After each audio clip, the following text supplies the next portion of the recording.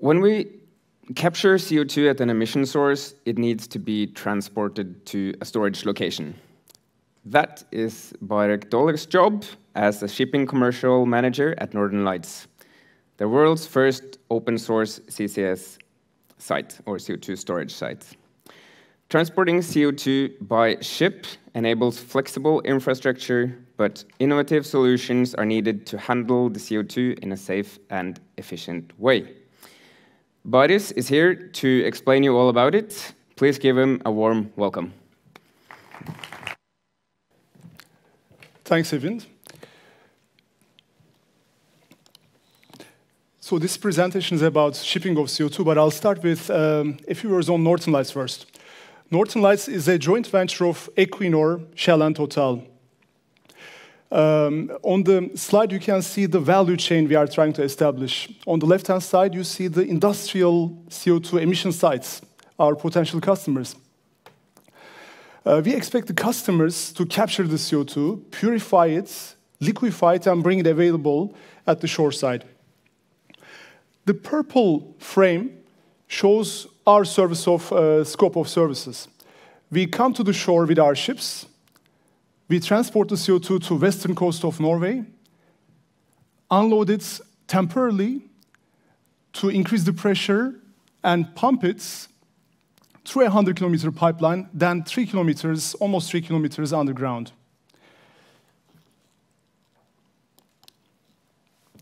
We are building our uh, infrastructure. We started about a year ago, the construction.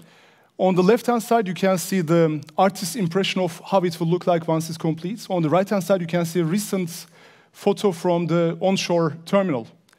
Uh, the last year, this uh, 2021, uh, has been very busy with blasting, leveling the sites.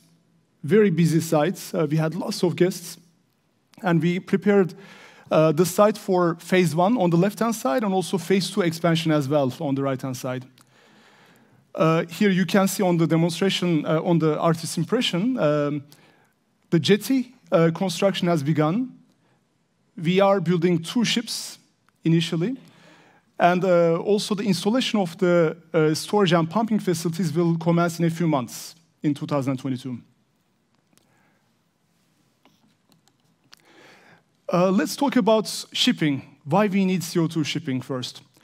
Uh, you see a map of Europe, but the story applies to many uh, clusters, regions around the world.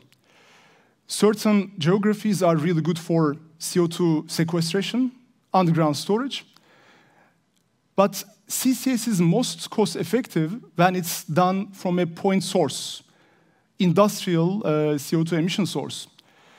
And when you look around the world, where CO2 can be stored underground and where CO2 is emitted en masse is often not overlapping. There are few exceptions. For example, in UK, there are some clusters we see. Netherlands may be an exception that certain areas are not too far from where you can store the CO2 and where it's emitted. But most areas and most customers, industrial customers, are far away uh, from, uh, from uh, where CO2 can be stored underground. Then we need to, for CCS to work, we need to transport the CO2 to where it can be stored.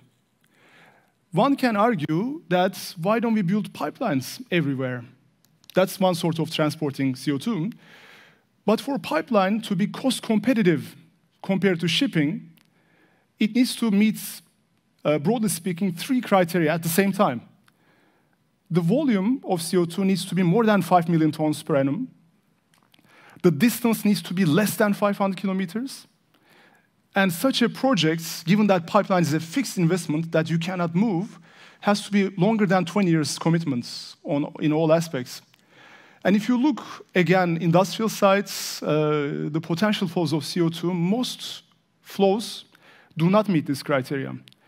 So shipping is much more cost efficient than pipeline transportation. Then what are the advantages of shipping compared to pipeline? It's, uh, it enables CO2 flows of less than 5 MTPA, million tons per annum, from point sources, but even enables much smaller uh, industrial sites, such as less than 400 kilotons per annum, to become a part of the CCA, CCS um, environment. Longer distance sites can feasibly, relatively cost efficiently, can transport the CO2 using ships instead of pipelines. Given that ships are um, uh, flexible, not like a pipeline, the commitment terms commercially could be less than 20 years, 10 years, 15 years. And if a deal is uh, over after 10 years, you can deploy the ship elsewhere. So it enables shorter term deals. And eventually, uh, fleet optimization, network effects, redundancy, and flexibility. If you have a fleet of ships that you commercially control, unlike a pipeline, when it's down, the whole value chain is down. Ships you can flexibly deploy elsewhere and benefit from the network effect and offer a higher level of service, more efficiency, and more redundancy. As I mentioned before, we are building two ships initially. The two ships we are building are, uh, will be the largest CO2 carriers in the world. Today, there are just a handful of um, very small uh, CO2 carriers. They are about 1,000 cubic meters of uh, capacity each, the existing ships, versus the ships we will build are 7,500 cubic meters, significantly larger. In global shipping sense, one could deem these ships still uh, as relatively small-scale ships. Uh, so, the, uh, but uh, of course, as the CO2 uh, shipping and the market grows, uh, the shipping capacities will expand with the market over time. We expect the ships to be delivered in first half of 2024, and we expect to start our operations end-to-end in 2024. Um, the ships that we are building will be operating what we call at medium pressure regime, around 15 bar pressure and uh, minus 26 degrees Celsius temperature. So CO2 shipping is a new um, segment we could say. There are only a handful of ships, and this could become significantly uh, bigger than that. How do we make sure that shipping is, in a way, standardized, compatible, so that we get that network effect? Um, so, uh, so different ships can call at different ports, and, uh, and there's redundancy in the system. We don't have to uh, worry too much about regulations and rules. International shipping rules and regulations either directly already cater for CO2 shipping or using liquefied gas transportation rules, such as IGC codes, ISO rules, SIGTTO rules and regulations, we can just uh, follow these existing rules and regulations and make the CO2 ships in a way compatible uh, with each other. But if you talk about CO2 itself, um, we could also look at uh, some other aspects. One of them is the CO2's composition, the cargo's composition. The other one is the temperature and pressure of the CO2. When we talk about shipping worlds, shipping of CO2, um, there are three different pressure and temperature regimes emerging at the moment. Medium pressure, low pressure, and high pressure.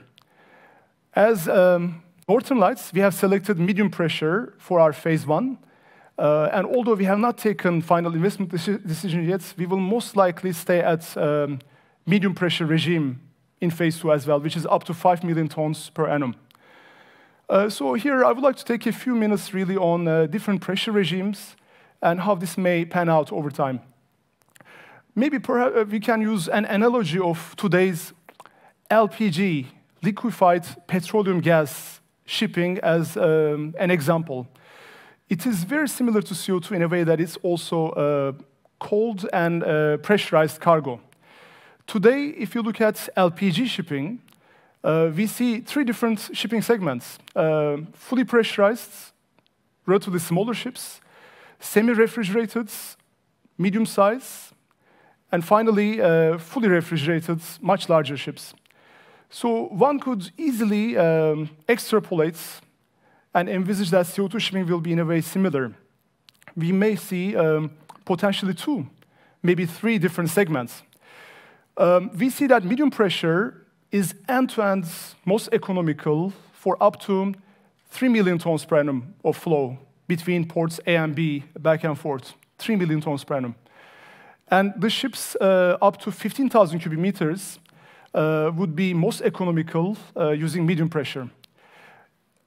Often, when we talk about millions and millions of tons of CO2 that needs to be moved, uh, most people immediately jump into conclusion that, okay, we have to immediately scale up to a much larger ship size. But if you look at potential customers, industrial sites, we see, broadly speaking, again, two different types of customers. Some of them are uh, at a standalone location, relatively small volume, maybe half a million ton per annum to one or two million tons per annum. Or we see hubs, industrial, lots of sites together. But again, those hubs, most of them will start by one uh, industrial site going first, and the second one follows with CCS at third one. So it will be a gradual uh, development.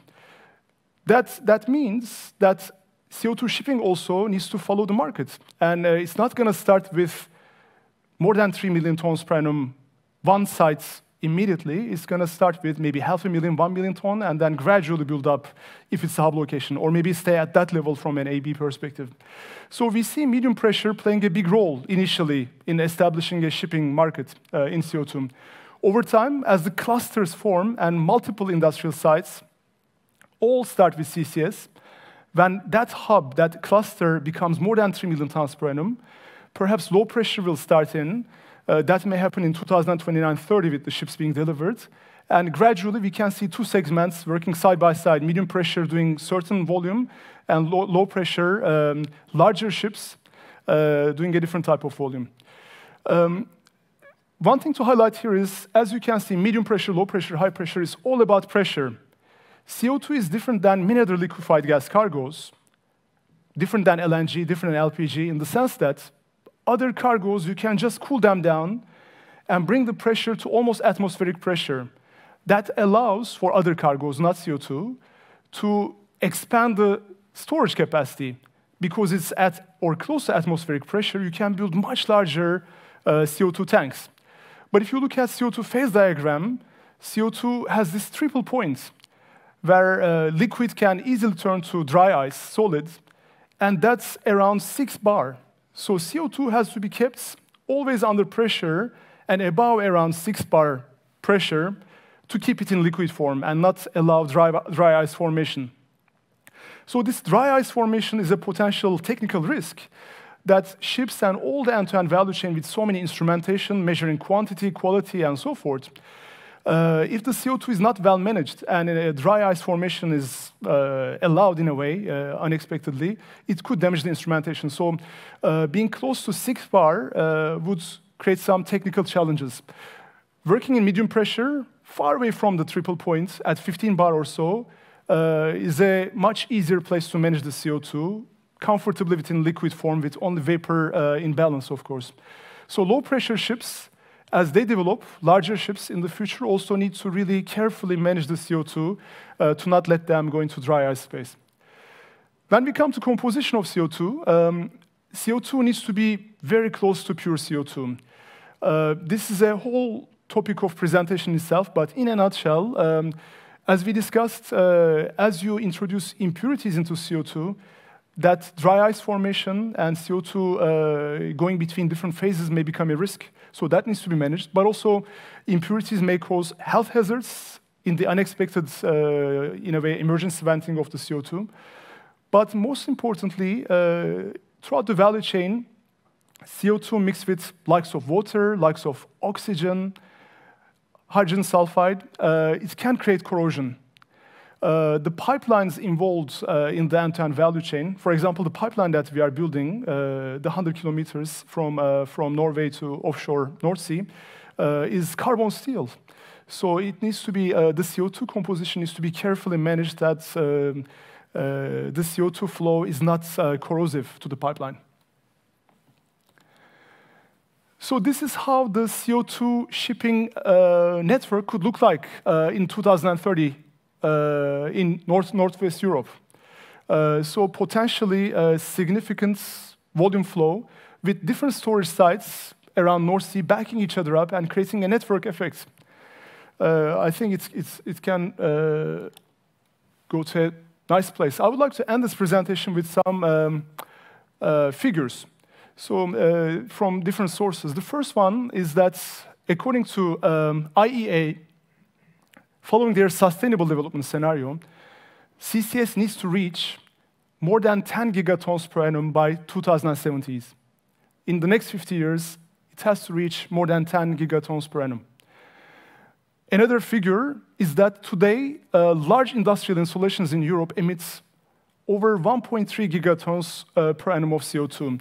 I'm not claiming that all of this will be under CCS, and not all of them will be under CO2 shipping, of course, but significant CO2 emissions uh, by industrial sites in Europe. Compare that amount of CO2 from the first two bullet points to the third one. The global seaborne trade today is estimated to be around 11 gigatons per annum. So uh, although shipping is very large around the world, the CO2 that needs to be transported on ships is also significant. So I think we are at the dawn of an industrial, uh, dawn of a, a new, uh, new CO2 shipping segment being born. Uh, so, we will see, in my view, many, many CO2 ships uh, in the coming decade and decades. I would like to wrap up.